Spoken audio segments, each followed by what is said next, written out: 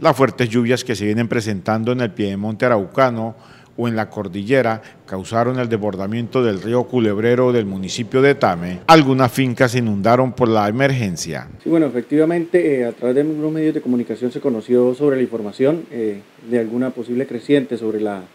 eh, dos veredas fuentes del río Culebrero,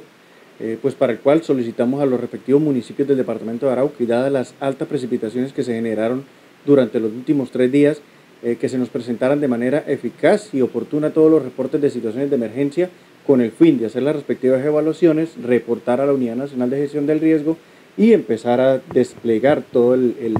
equipo operativo para tratar de eh, hacer una atención oportuna a estas situaciones de emergencia. Al momento, pues el municipio de Tame no nos ha presentado el reporte oficial de la situación que se viene presentando. es entendible, están realizando eh, las respectivas verificaciones y evaluaciones a través de su Consejo Municipal de Gestión del Riesgo para poder brindar el respectivo reporte. Según el coordinador de la gestión de riesgo y desastre del departamento de Arauca, a los alcaldes se les solicitó el monitoreo de los diferentes ríos. A los municipios ya se les solicitó eh, que realizaran un estricto monitoreo sobre los niveles de las fuentes hídricas, de la misma manera el monitoreo a través de la red del IDEAM para conocer cuáles son las condiciones hidrometeorológicas que se van a presentar durante los próximos días para tratar de presentar las respectivas ah, alertas eh, preventivas a toda la comunidad. En el departamento de Arauca existe un riesgo con el río Arauca y se buscará con los organismos de socorro detectar las falencias. Bueno, particularmente en el departamento de Arauca hay una situación bastante eh, grave con,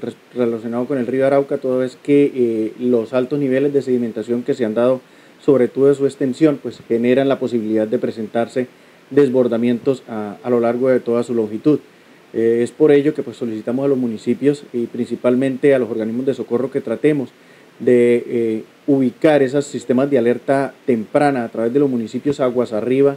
eh, de esta fuente hídrica para que podamos desarrollar todas las actividades de monitoreo y emitir las respectivas alertas a la comunidad principalmente para que tomen sus medidas respectivas. La administración departamental coordina con los siete municipios del departamento con el fin de evaluar cualquier emergencia invernal que se presente. Sí, se ha venido presentando la respectiva coordinación. Eh, es importante destacar que pues, el municipio de Tame salió a primeras horas a realizar la respectiva evaluación. No presentaron ningún reporte porque no conocían de la situación